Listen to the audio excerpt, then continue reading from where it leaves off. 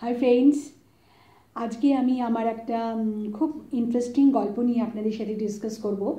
গল্পটা আমি লিখেছিলাম দু হাজার তেরো শেষের দিকে। গল্পটার নাম মুক্তির দিশা। এই গল্পটা খুবই ইউনিক মানে যারা পড়েছেন তারা প্রত্যেকেই বলেছে যে গল্পটার মধ্যে সাংঘাতিক তারা নিজেদেরকে সাথে বা অনেক কিছুর সাথে তারা রিলেট করতে পেরেছে। আর সেখানেই আমার স্যাটিসফ্যাকশান যে আমি গল্পটা মানুষের মনে মানে পৌঁছাতে, পৌঁছে দিতে পেরেছি। গল্পটা বেশ কয়েকজন মহিলাকে নিয়ে খুবই ইন্টারেস্টিং গল্প। ওই গল্পটা আজকে আমি আপনাদের সাথে শেয়ার করছি।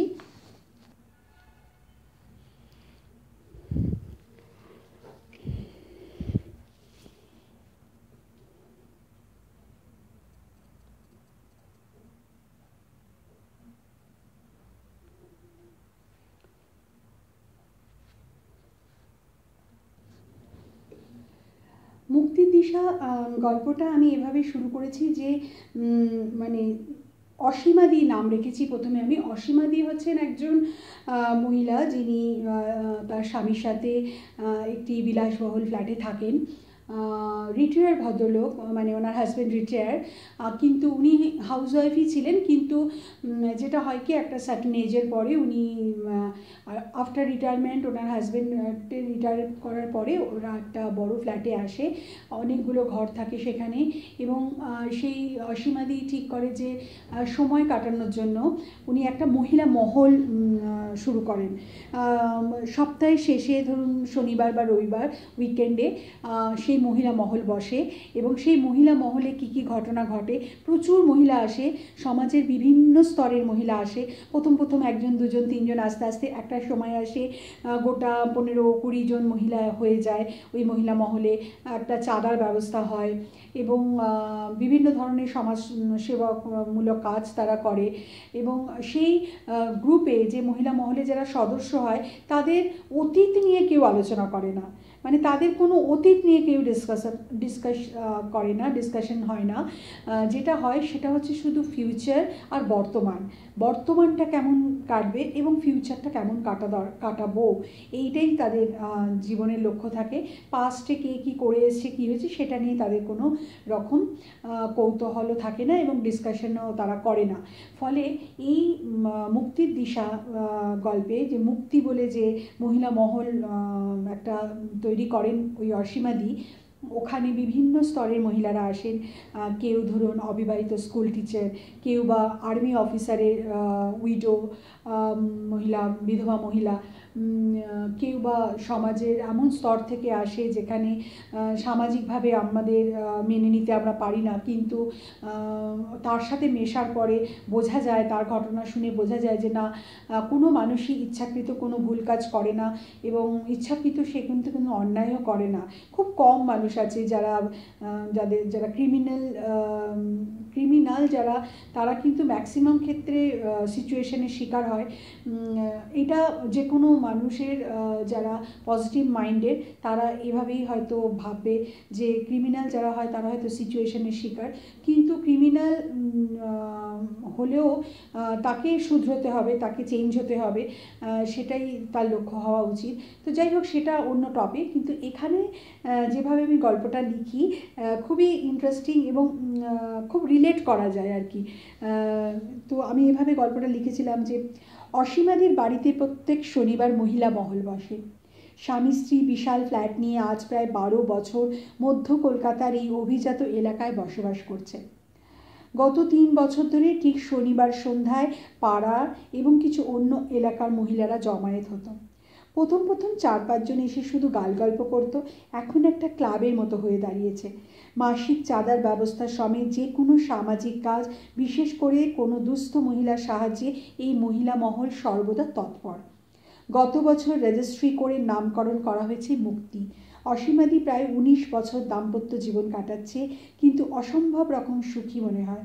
সন্তান না থাকলেও নিজের ভাইয়ের ছেলেকে রেখে মানুষ করছে। জীবনে কোনো দুঃখই যেন অসীমাদিকে ছুতে পারেনি। এই পাড়ার বাসিন্দা হয়ে আসার পর থেকেই কারও না কারও উপকারে লেগেছে। আজ তাই নিজের সাজানো গোছানো ড্রয়িং রুমেই মহিলা মহল খুলে মনের ইচ্ছে, মুক্তির স্বাদ নিচ্ছে আর বহু মহিলাকে সেই মুক্তির পথ দেখাতে সমর্থ হয়েছে। পর্যন্ত মানে তার অসীমাদির চারিত্রিক একটা বৈশিষ্ট্য বোঝা গেল যে সে ভালো কাজ করতে চায়। সে বেসিক্যালি খুব সুখী মানুষ, তার নিজের সন্তান নেই। এটা উচ্চ মানে একটা তো কোথাও একটা যন্ত্রণা তার রয়েছে, কিন্তু সেটা ভুলতে সে কিন্তু সেই যন্ত্রণাকে নিয়েই সে বসেনি সেই যন্ত্রণাটাকে সে উপেক্ষা করে মানুষের মাঝে মাঝে নিজেকে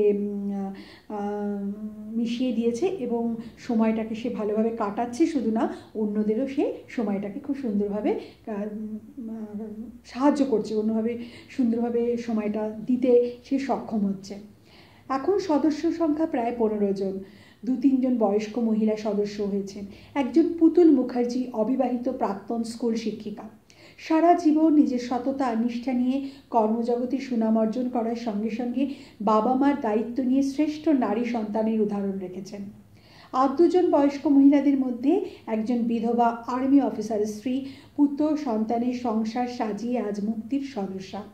তৃতীয় জন বৃদ্ধা একটু ব্যতিক্রমী, যৌবনে পতিতা পল্লীর একজন হয়ে আজ সেই পল্লীর মহিলাদের জন্য সরকারের সঙ্গে হাত মিলিয়ে সব রকম সাহায্যের পথ বেছে নিয়েছেন। শুনতে অবাক লাগল মুক্তির সদস্যদের এসব নিয়ে কোনো মাথা ব্যথা নেই। মুক্তির উদ্দেশ্য বর্তমান আর ভবিষ্যৎ। অতীত নিয়ে তারা ভাবতে নারাজ। এই তিনজন বৃদ্ধা মহিলা ছাড়া বাকি দশ এগারো জনের গল্প এক একজনের এক এক রকম। এরা প্রত্যেকেই আজ নারী হবার জন্য গর্বিত। অথচ একদিন এদের প্রত্যেকেই অনুশোচনা করত নারী হয়ে জন্মানোর জন্য।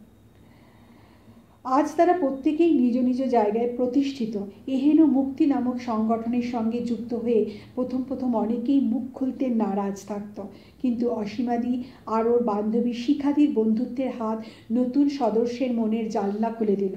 শিখাদির বৈবাহিক জীবনের তিক্ত অভিজ্ঞতা, জীবনের ঘাত প্রতিঘাত আর নিজের পায়ে দাঁড়ানোর ঘটনা নিয়ে সংগঠনের সদস্যদের নির্বাচন পদ্ধতি শুরু হতো।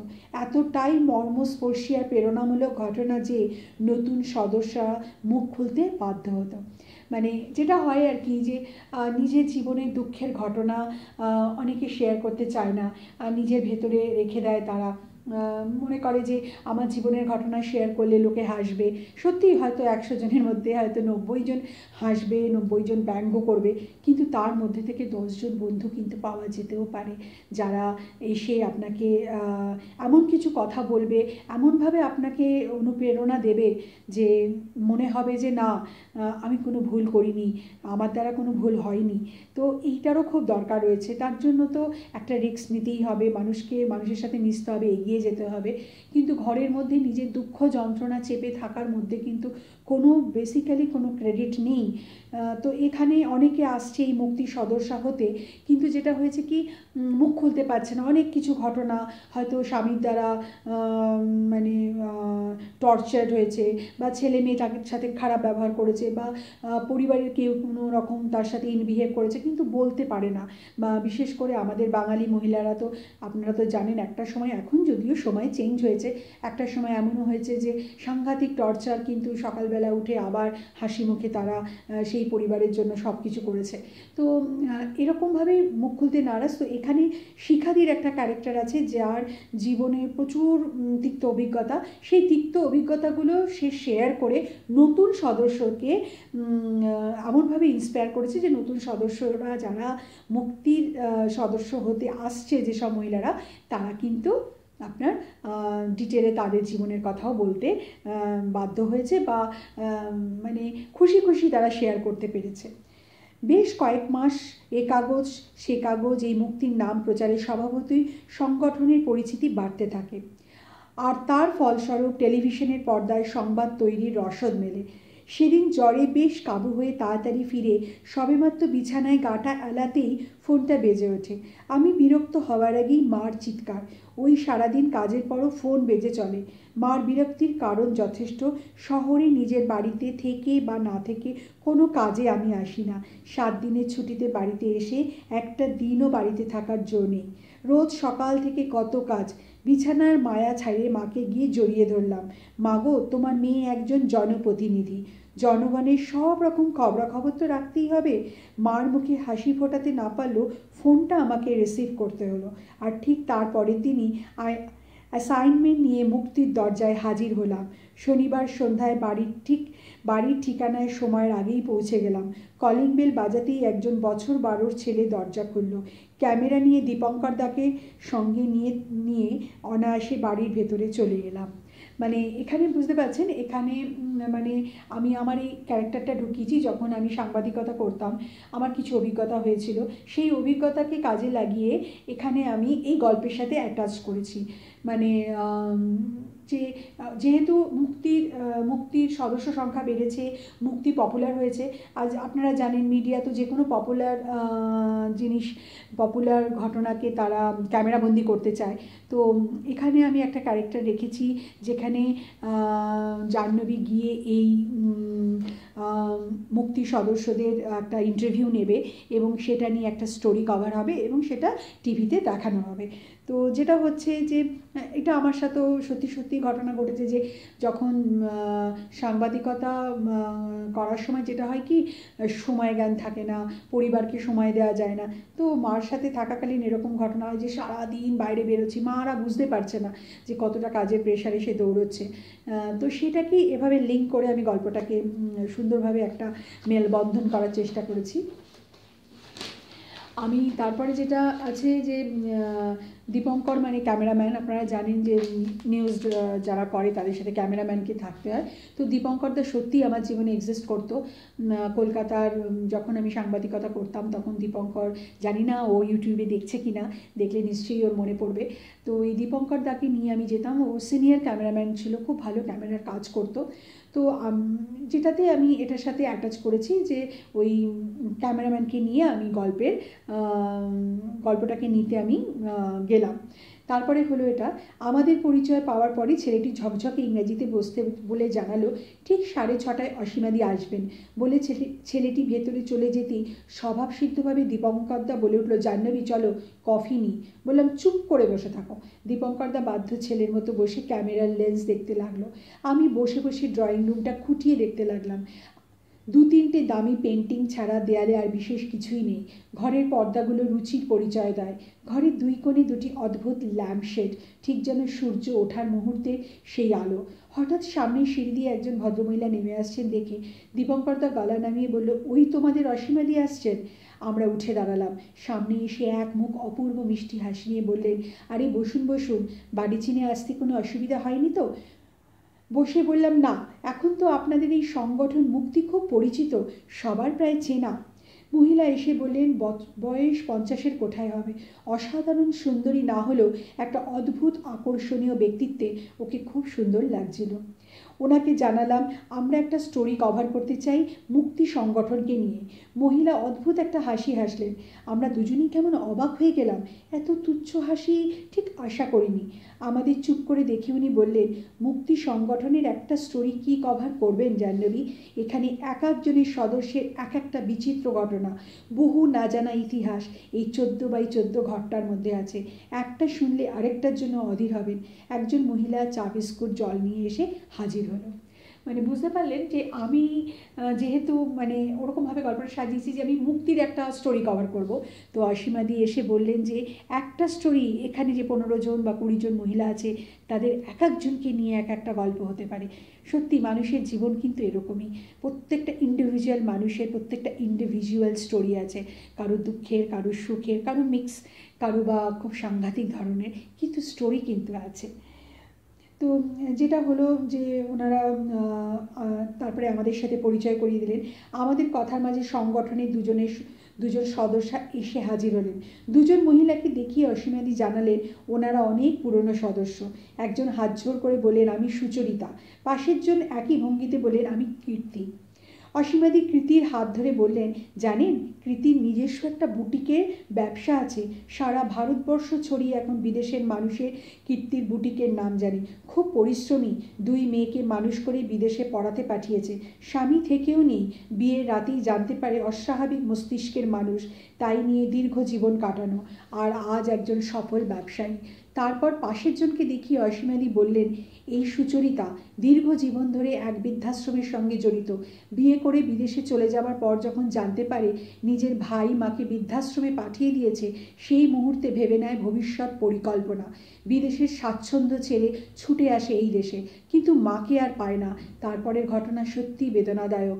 বৃদ্ধাদের সঙ্গে নিজের সুখ দুঃখ মিলিয়ে খুঁজে পায় নিজের মাকে। আমি পাথর হয়ে শুনছিলাম। এখন বুঝতে পারলাম কেন আমাদের একটা স্টোরি কভারের কথা শুনে উনি হেসেছিলেন। এক একজনকে নিয়ে আলাদা আলাদা গল্প তৈরি হয়। তার জন্য যত সময় লাগে লাগুক। যদি অফিস রাজি না হয়, জাহ্নবী নিজে করবে। সারা রাস্তা ভাবতে ভাবতে এলাম, একজন নারী সত্যি নদীর মতো বয়ে যেতে পারে, হাজারো ঘটনায় সাক্ষী হয়ে, পর্বতের মতো মাথা তুলে দাঁড়িয়ে থাকতে পারে, আকাশের মতো বিস্তৃতি, সেই যেন প্রকৃত নারী। মানে যেটা হলো কি যে ওর পরিচয় মানে আমি এভাবে, গল্পটা যেহেতু আমি নিজেই লিখছি সেই জন্য আমি প্রতিটা গল্পের প্রতিটা ক্যারেক্টারকে এভাবে ডেসক্রাইব করেছি যে এক একজনের সুচরিতা বা আমাদের কৃতি, এদের ঘটনা, যে কীভাবে তারা মানে নিজে নিজে জায়গায় এসে তাদের পায়ের জমি শক্ত করেছে। নারী জীবনের ঘাত প্রতিঘাত, ত্যাগ, জয় পরাজয় যুগে যুগে আলোচিত। হাজার গল্প উপন্যাসের পাতায় ছবির মতো ফুটে উঠেছে। কবি সাহিত্যিকদের প্রেরণার উৎস কত শত নারী। কিন্তু মুক্তি সংগঠনকে গিয়ে সেই নারী জাতির এক চরম সত্য উদ্ঘাটন করব এমনটা কখনো ভাবিনি। অসীমাদির বাড়ি পৌঁছে দেখি সংগঠনের প্রায় সব সদস্যই হাজির। একসঙ্গে পনেরো ষোলো জন মহিলা বসে আছেন। আমি যেতেই শিখা দিয়ে এগিয়ে এলেন। বললেন, জাহ্নবী, সামনের সপ্তাহে আমাদের সংগঠনের একটা অনুষ্ঠান আছে। তোমার নিমন্ত্রণ রইল। বললাম, কি অনুষ্ঠান? শিখাদি দূরে বসে থাকা একজন বছর পঞ্চাশের মহিলার দিকে আঙুল দেখিয়ে বললেন, সুমিত্রাদি ম্যারেজ রেজিস্ট্রি উপলক্ষে একটা বড় অনুষ্ঠানের আয়োজন। আমার কাজ গুছিয়ে সুমিত্রাদির কনগ্রাচুলেশন করে গাড়িতে বাড়ি ফিরতে ফিরতে ভাবলাম বিদেশের মতো ধীরে ধীরে আমাদের দেশেও মানসিকতার পরিবর্তন হচ্ছে। এখানে ঘটনা হচ্ছে যে যেহেতু ওই পঞ্চাশ ঊর্ধ্ব মহিলার রেজিস্ট্রি বিয়ে অনুষ্ঠানে জাহ্নবীকে মুক্তির সদস্যরা ইনভাইট করে, তো ও একটুখানি অবাক হয়। যদিও আধুনিক মেয়ে জাহ্নবী জাহ্নবী জানে সময়, জাহ্নবী জানে সব কিছুই সম্ভব, অনেকটাই সে আধুনিক মনের মেয়ে। কিন্তু তবুও তার মনের মধ্যে আসে যে হ্যাঁ এটাও বিদেশের মতো হচ্ছে যে পঞ্চাশোর্ধ মহিলার একজন বিয়ে হবে এবং সেটা খুব ঘটা করে হবে। সারা সপ্তাহ মূর্তি শুটিং করে কেটে গেল। রবিবার সন্ধ্যায় বাড়ি থাকব না জানতেই মায়ের মুখ ভার। এখানে কিছুটা নিজের ডেসক্রিপশান দেওয়া হয়েছে, যেমন যেটা হয় আর কি আপনারা জানেন, মিডিয়াতে শনি রবি বলে কিছু সেরকম থাকে না।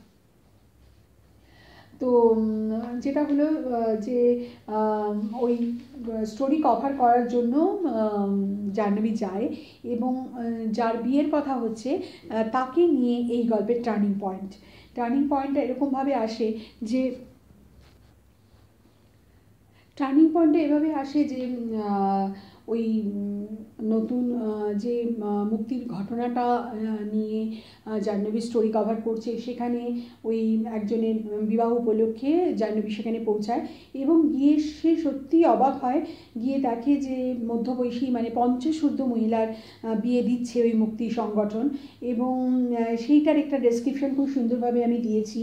যেমন দক্ষিণ কলকাতার খুব নামি এক ম্যারেজ হলের সামনে সারি সারি গাড়ি দাঁড়িয়ে ড্রাইভারকে গাড়ি পার্ক করতে বলে এগোলাম। গেটের মুখে অসীমাদির স্বামী সমেত বেশ কয়েকজন দাঁড়িয়ে হাসি মুখে সবাই আমাদের অভ্যর্থনা করল। বেশ জাঁকজমপূর্ণ জাক চমকপূর্ণ পরিবেশ, হালকা গজল বুফে সিস্টেমে খাওয়া দাওয়ার ব্যবস্থা, সুন্দর করে সাজানো বিশাল মাঠ। বেশ কয়েকদিন যাতায়াত করে আমাদের মুখ চেনা হয়ে গেছিল। খুব অস্বস্তিতে পড়তে হয়নি। মাঠের এক পাশে সুন্দর করে একটা ফুলের বেদি করা হয়েছে, সেখানে নবদম্পতি বসে। এগিয়ে যেতে অবাক হয়ে গেলাম। এই সেই সুমিত্রাদি? কে বলবে পঞ্চাশোর্ধ বয়স? বাইশ বছরের একটা মেয়ের মতো সুন্দর, প্রাণোচ্ছল লাগছে। পাশে বসে একজন ব্যক্তিত্বময় চেহারার ভদ্রলোক। অসীমাদি এগিয়ে এসে আমাদের সঙ্গে আলাপ করিয়ে দিল, জাহ্নবী রায়, আমাদের মুক্তি সংগঠনকে নিয়ে টেলিভিশনে একটা প্রোগ্রাম করছে। ভদ্রলোক হাত জোর করে নমস্কার করলেন। অবাক হয়ে তাকিয়ে রইলাম। প্রোগ্রাম করার জন্য মুক্তির সব সদস্যদের ইতিহাস আমাকে জানতে হয়েছিল। সুমিত্রাদির জীবনের ইতিহাসও আমার জানা। প্রথম জীবনের একটা সম্পর্কের পরিণতি পেলেও অসুখী মন নিয়ে অনেক ঝড়ঝঞ্ঝা অতিক্রম করে বহু মানুষের অসম্মান পাওয়ার পর প্রকৃত বন্ধু খুঁজে পাওয়া। সেই বন্ধুকে বর্মাল্য দিয়ে আবার নতুন জীবন শুরু করার দৃঢ় মানসিকতা বহু নারীর মনে সাহস সঞ্চার করবে, তাতে কোনো দ্বিধা ছিল না। আমার প্রোগ্রামের সপ্তম নারী সপ্তম ঘটনা হলো সুমিত্রা। এখানে সুমিত্রাদির বিয়ের দিনকে গিয়ে জাহ্নবী অবাক হয় যে একজন পঞ্চাশোর্ধ মহিলা কিন্তু সে যখন বিয়ের আসরে বসে রয়েছে, তাকে এত প্রাণোচ্ছল লাগছে এবং তার পাশে যে পুরুষ মানুষটি, যে মানুষ কে সে বরমাল্য দিয়েছে, সে তার চোখের মধ্যে অসম্ভব একটা সম্মান, অসম্ভব একটা মানে কি রেসপেক্ট নিয়ে সে তার পাশে বসে রয়েছে এবং এটা ভীষণভাবে একজন সাংবাদিককে মানে নক করে এবং এটা নিয়ে একটা গল্প করার কথা বা একটা স্টোরি করার কথা ভাবতে বাধ্য হয়। তারপরে যেটা হয়, এরপরে যে টার্নিং পয়েন্টটা I am very sorry to sorry to say my friends এর পরে যে টার্নিং পয়েন্টটা এটা কিন্তু আমি আপনাদের আমি বলব কিন্তু আমি একটা হিংস দিয়ে রাখছি। যেহেতু এই আপনারা তো জানেন, বন্ধু ছাড়াও বন্ধু ছাড়াও অনেক মানুষ ইউটিউব দেখে এবং স্টোরি লাইনের খুব ডিম্যান্ড তো আমি এই লাস্টের টার্নিং পয়েন্টটা একটা হিন্স দিচ্ছি। কিন্তু পার্সোনালি কেউ যদি জানতে চান, আমি ফোন করে বলব। কিন্তু আমি ইউটিউবে এটা আমি প্রকাশ করতে পারছি না। যেটা হবে টার্নিং পয়েন্টটা সেটা হচ্ছে যে, এই সুমিত্রাদি যে বিবাহটা হচ্ছে, এই বিবাহর পরে একটা টার্নিং পয়েন্ট আসবে এবং এই গল্পের মোড় ঘুরবে এবং এই গল্পটা একটা সাইন্টিফিক মানে বৈজ্ঞানিক সত্যতা তুলে ধরবে। যে সত্যতা এখনও পর্যন্ত ভারতবর্ষের অনেক নারী জানে না, অবগত নয়। এটা আমি ভীষণ চ্যালেঞ্জের সাথে বলছি। প্রচুর প্রচুর মহিলা আছে, এই বৈজ্ঞানিক সত্য কিন্তু তারা জানে না যেটা আমি এই গল্পেতে লিখেছি এবং খুব সাহসের সঙ্গে লিখেছি এবং আমার দৃঢ় বিশ্বাস ছিল, এটা নিয়ে কেউ আমাকে কখনো চ্যালেঞ্জ করতে পারবে না। এবং সত্যি কথা দু হাজার তেরো থেকে আজকে দু হাজার কুড়ি দোরগোড়ায় এসে পৌঁছলাম কেউ কিন্তু আমাকে কোনো চ্যালেঞ্জ করেনি, কারণ এটা এতটাই সত্যি। হয়তো মেল ইগোতে গিয়ে একটু লাগবে, কিন্তু আমরা নারী, আমরা মেল ইগোর কথা ভাবার থেকেও আমাদের সম্মান, আমাদের স্যাটিসফ্যাকশন এবং আমাদের রেসপেক্টটা অনেক বেশি আমরা আগে ভাববো। অবশ্যই আমরা তাদের কথা ভাববো, যদি তারা আমাদের পাশে বন্ধুর মতো আমাদের হাত ধরে থাকে, নিশ্চয়ই তাদের কথাও আমরা ভাববো। কিন্তু এই মুহূর্তে এই গল্পের টার্নিং পয়েন্ট এটাই যে একটা বৈজ্ঞানিক সত্যতা আসে এবং এই পুরো গল্পটাকে একটা নতুন মাত্রা এনে দেয়। আশা করি আপনারা শুনলেন, আপনাদের ভালো লাগল। যদি সত্যি আপনাদের কারোর ইচ্ছে হয় জানাটা, আমি কিন্তু অপেক্ষা করে থাকব। আপনারা আমাকে ফোন করবেন বা আপনারা কমেন্টসেও লিখতে পারেন, আমি আপনাদেরকে সত্যতা বলে দেবো।